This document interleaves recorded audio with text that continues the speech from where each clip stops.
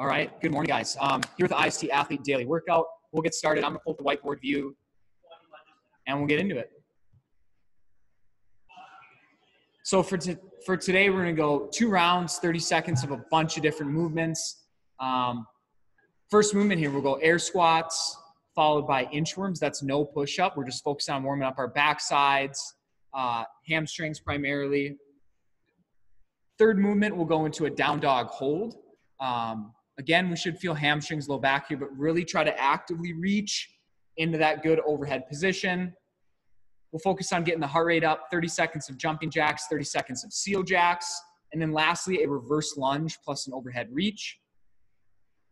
On this, I want the arms to come down every rep so that we're getting movement at the shoulder blade each time we do a reverse lunge. So I will run through an abbreviated round of warm up here, give you guys uh, some movement demos and kind of the quality we're looking for on that.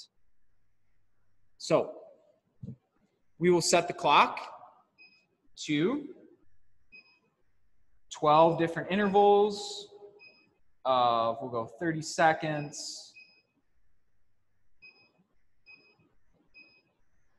And no rest today because we're just going to flow right through. We're going to 10 there. We'll, we're going to start with our air squat. So on the air squat, just focus on good squat mechanics. Nice and easy there. Squat in the depth, stand it all the way up. Second movement, inchworm. Like I said, we really want to focus on hamstrings, low back, keeping our legs nice and long on the way out and on the way in. So from here, see if I can stay in the camera. I would walk my hands out, no push up, so I just walk my hands back in. As such, stand.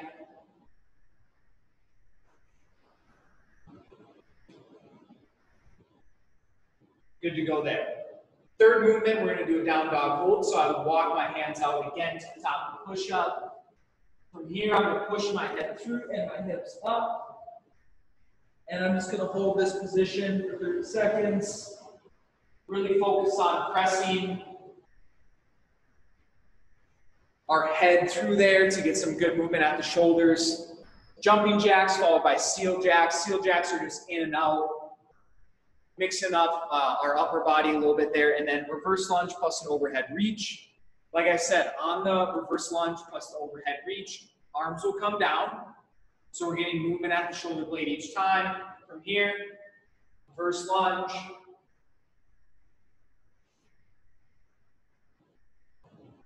as such. Okay? Um, just trying to add a little bit of movement there at the shoulder, like I was saying. So hands do come down on every lunge. Um, pretty straightforward there. After your reverse lunge plus overhead reach, you go back to the top to start round two for the air squat. So that would conduct our warm up. Uh, 12 intervals of 30 seconds apiece. Goal is to just stay moving the whole time. For core today, we are going to continue to build off our lunge holder and go four minutes, alternating every 60 seconds. So a little bit longer duration. We're going to go one minute on one side, one minute on the other, one minute back to where we started, and then finish lastly with one minute um, on the second leg there into a four minute AMRAP, 20 sit ups, 15 glute bridges, and 10 side plank with that elbow rotation. I'll demonstrate all three of the movements here um, and talk a little bit about positioning that we want on the lunge um, really simple way to do this just set the clock for eight minutes. That's what I'm going to do. Keep yourself on track there.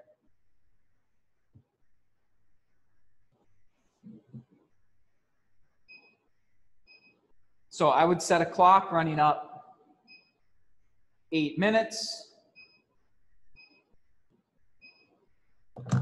We're going to talk lunge hold first. So it's all about positioning here shin, back knee is going to be hovering just above the ground. And I want my torso nice and upright. So I should feel um, a little bit of forward as well as I'm staying in that stack position. So from here, vertical front shin, back knee hovering above the ground, shoulders are back, and I'm simply just holding. Okay, one minute on one side, one minute on the other. Again, notice my nice stack position here. Not leaning forward, I'm not way overextended like this. As such. That'll take us through the four minutes of our lunge hold. You're gonna alternate every 60 seconds. Into our four minute AMRAP, we'll do 20 sit-ups. That's gonna be our butterfly sit-up, um, so we can move through it a little bit quicker. I'll demonstrate what that looks like. 15 glute bridges, so you'll stay on your back. Momentary squeeze of the glutes at the top. Relax, squeeze the glutes for 15 reps. And then 10, that's 10 each side, side plank plus elbow rotation. Maintaining our good side plank position, but getting a little bit of, obviously, rotational work. So I'll demonstrate that here. First, the butterfly sit-up. Feet together, hands start touching our feet, hands come overhead. Hip crease closes, so I touch my feet again.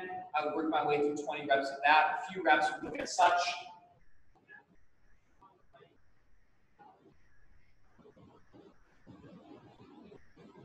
That's that. Onto our back, we go 15 glute bridge. Heels are firmly planted in the floor. I'm gonna squeeze my hips. Momentary pause at the top. Back down, squeeze. For 15 reps there. Lastly, we'll do side plank plus elbow rotation. So I'm good here. Let's get in our like chicken wing, I guess is what you could call it. Elbow comes down and rotates back up as such. You do 10 on one side, 10 on the other.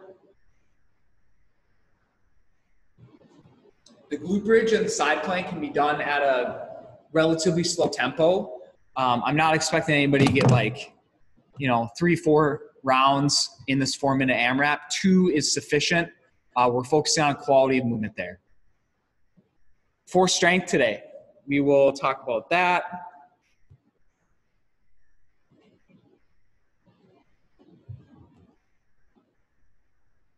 So strength will be three sets every four minutes. So again, this is going to keep us accountable, keep us moving through this at a good, uh, good pace here. Our first movement is the Cossack squat plus good morning. You'll do 10 each leg on the Cossack squat. So it's 20 total Cossack squat and then one good morning um, with that, so it'll be 10 total. We're gonna do the dynamic rear foot elevated split squat. Um, so we're working a little bit of single leg power. We did five reps last week. We will do six this week. Uh, I'm gonna demonstrate off a bench, but this can be easily done off, you know, any sort of elevated surface as long as we're holding, um, I guess, proper positioning there and um, it's stable enough, okay, for us to do a little bit of power work. And then staggered stance RDL, I encourage us to load our backpack nice and heavy. Um, get some single leg work on that as well. Just a different way to work our hinging position there. So uh, I'm going to utilize, we have, you know, plates and dumbbells in the gym right now. I'm going to utilize a plate on the Cossack squat in the good morning and I'll also show the staggered stance RDL with that. But again, you can utilize anything you'd like, bag of dog food, rice, your backpack, stuff like that, load it as heavy as you'd like. Um, these are compound movements, so you can load it pretty pretty heavy um, and be just fine there. So I'll get our strength set up and then I'll get the clock set up as well. Like I said, we're gonna go every four minutes. So say I do all three of my movements and it takes me three minutes. I have that last minute to rest and then I go into my second set. It's not just a continuous flow through it. If we are gonna be loading heavy, rest is important. Um, so take advantage of it if we're gonna give it to you.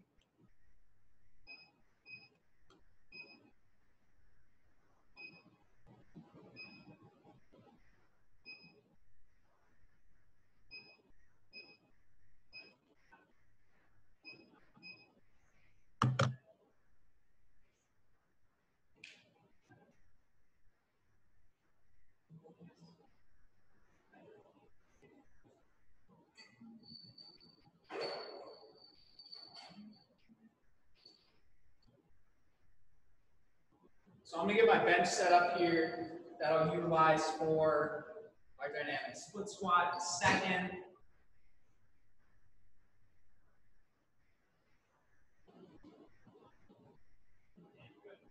Now, if we're doing that Cossack squat, I would first uh, have that front loaded, so holding it at the chest. We're gonna start a nice wide stance. From here, heel to butt, sorry, butt to heel. And then I'm gonna do a sumo good morning, so hips hinge over as such. From the side, it'll look like this.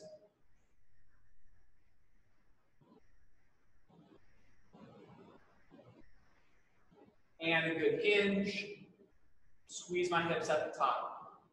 Okay, that's what I'm looking for on the Cossack squat plus the good morning. Again, you can hold that relatively heavy. Our second movement, we're gonna go our dynamic split squat. Um, this again, I think should be unweighted this week as we're just focused on some power development. Try to jump high, try to move fast out of that bottom position. So in our normal split squat, we want vertical front shin um, and vertical torso. Same thing applies here. I go down and explode up. I go down and explode. I would do six on one leg, six on the other. Our last movement, we'll do a staggered stance RDL. Again, probably done easiest if we're holding that in the front rack position. Split stance, it would look like this from the front. This is our traditional, so feet in line. From here, slight knee bend, just like a normal RDL. Maintain a strong back as I hinge over. You should feel front leg hamstring. And I squeeze my hip at the top. 12 reps on one side, 12 reps on the other. Good on that. Now, say uh, say I had the clock running there and like I said, it took me three minutes. I would rest the remaining minute before my second interval.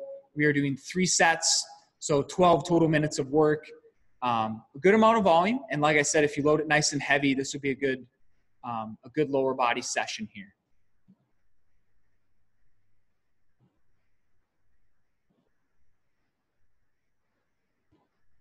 Lastly, we have a uh, mid, kind of mid distance um, time piece here, conditioning. We're gonna go 12 minute AMRAP, one minute in our pillar position. So that's our good top of the push up.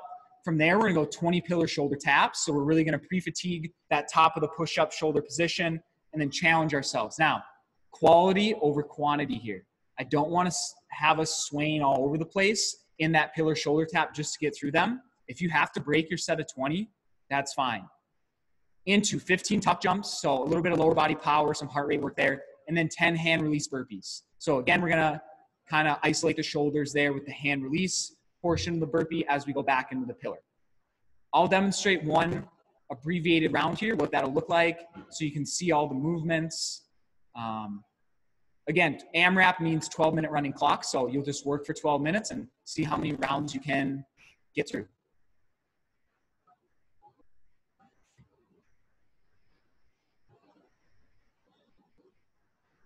So first thing, we're gonna start in that top of the push-up pillar position. In the pillar, I'm actively pressing through the floor and I'm maintaining a good uh, belly positioning so I'm nice and tight to my midline. From here, this is a good example of a good pillar. Notice my upper back is slightly rounded as I'm pushing through the floor, squeezing my glutes into 20 pillar shoulder taps, minimizing that rotation at the hips. What I don't want to see is this, because my shoulders are tired. After that, 15 tuck jumps. So squat to parallel or just slightly below. We don't want to bottom that out. Uh, we want a quick change of direction and jumping nice and high. So I'd be here. Knees come into chest, 15 reps. For our more advanced athletes, we can do a rebounding dynamic. Uh, tuck jump there. If we have to reset and do every tuck jump as kind of a single, that's okay as well. The rebounding would look as such. 15 reps there. Into 10 hand release burpees. So a little bit of a jump. Hands physically leave the floor. And hands come overhead. 10 reps of that back into your pillar for 12 minutes. Um, pretty straightforward piece. I think, so with the one minute pillar, I'm trying to do a little bit of mental math here. a lot of shoulder. I think three plus rounds, maybe four rounds, is uh, doable for some of our, especially more um, more resilient upper body pressers. Um, if you have some good upper body endurance, I think you'll be able to work through this. However, um, again, we're looking at quality repetitions here, especially on that pillar shoulder tap and the tuck jump. So break it up as needed, focus on quality. That's always the goal. Um, yeah, that's the workout for today. Tomorrow, I will do a video of our running progression. The running progression is going to continue here um, all the way through summer um, as it is nice out. And I know a lot of us have, are interested in getting better at running um, as it has a lot of carryover to a bunch of different sports. Um, and we're going to start in, incorporating some sprinting intervals as well um, as we get closer to some of us getting back into season um, and getting a little bit more focused on power production. So, but that's it for today. Really nice job. Hope you guys enjoy the workout. Um, see you guys next week.